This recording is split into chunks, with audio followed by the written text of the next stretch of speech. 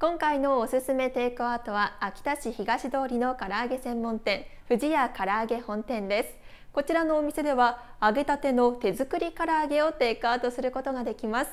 電話で予約をしておくと受け渡しがスムーズということなので早速電話してみたいと思います。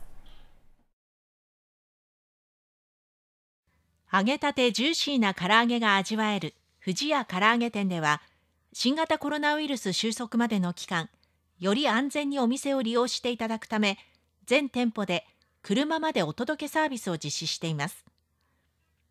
受け取りの流れはというとお店の駐車場に着いた後到着の連絡をします。合計金額を聞き車のナンバーを伝えます。すると店員さんが商品とお釣りを持って車まで届けてくれるんです。他のお客さんとの接触を避けられる心配りが嬉しいですね。どのような思いでこのサービスを始めたのかお聞きしました。少しでもお客様の不安を取り除きたいっていうことから車へのお届けサービスっていうものの実施を始めました。安心されるお客様いらっしゃいましてそのお言葉を聞くとああやってよかったなっては思います。当店では作り置きをせず必ず2度揚げでお客様に提供させていただいてます。その2度揚げをすることによって表面はサクサク中はジューシーに仕上がる唐揚げをお客様に提供できていると思っています。味の方も当店日々5種類提供させていただいてます。中には日替わり商品もございまして4月からカレー味っていうのを木曜日限定で販売しております。こちらの方は数量限定ということもありますので、ぜひご予約をいただいて、皆様に食べていただきたいと思っています。よろしくお願いします。それでは、いただきます。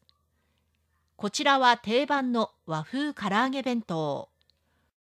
オリジナル本醸造醤油や手作り特上秋田味噌、自家製濃厚ネギ油などを配合した秘伝のタレにじっくり漬け込んだ唐揚げです。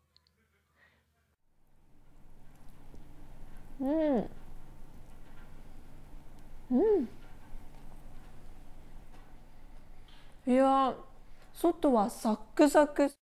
醤油ベースの味がしっかりついているのでこれは白米が進みます。そしてこちらはレモン塩唐揚げ。あっさりとした老若男女に愛される味わいです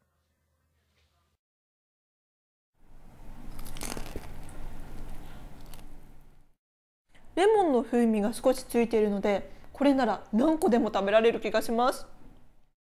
肉の甘みを感じたい方にはちょうどいい味付けですね。お客様気軽にお電話ください。お待ちしております。お待ちしております